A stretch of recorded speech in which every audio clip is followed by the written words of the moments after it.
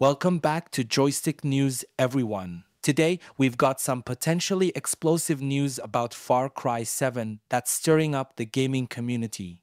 Rumor has it Cillian Murphy might be joining the Far Cry universe, Let's dive into these intriguing leaks and find out what's possibly in store for us. Recently, a well-known Ubisoft leaker, Jay Zonathan, who's been right before about games like Assassin's Creed Mirage, dropped a cryptic post.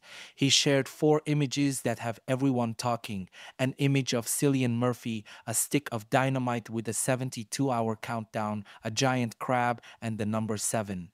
The number 7 clearly points to Far Cry 7, but the other images, that's where the mystery deepens. The 72 hour countdown could hint at a new gameplay mechanic in Far Cry 7, perhaps a mission timer reflecting real time urgency over three days. As for the crab, it could suggest a coastal or island setting, or maybe it's just a red herring. The most tantalizing part, of course, is the image of Cillian Murphy, recently celebrated for his role in Oppenheimer. Fans are buzzing with theories. Some suggest Cillian could be playing a new villain, continuing Far Cry's tradition of charismatic antagonists like Vaas and Anton Castillo. Others think the image might hint at a character named Murphy rather than the actor himself starring in the game. Jay Zonathan, the leaker, has only fueled speculation by not confirming anything directly. Ubisoft isn't shy about casting big names for its Far Cry series.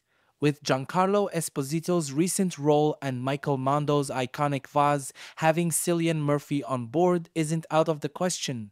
This casting would fit Ubisoft's pattern of involving high profile actors to add depth and allure to their villains. The community's response has been a mix of excitement and skepticism. Many are hopeful for another gripping performance akin to Esposito's in Far Cry 6, while others caution against getting too hyped without official confirmation.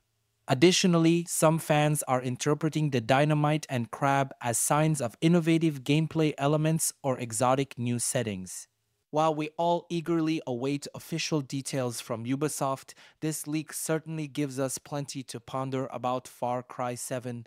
Could Cillian Murphy be the next big star to grace the series? Or is this another clever misdirect by Ubisoft to keep us guessing? Only time will tell. Thanks for tuning in to Joystick News. What's your take on these Far Cry 7 rumors? Drop your theories and thoughts in the comments below and don't forget to like and subscribe for more gaming news and rumors. Keep those notifications on you won't want to miss what we uncover next.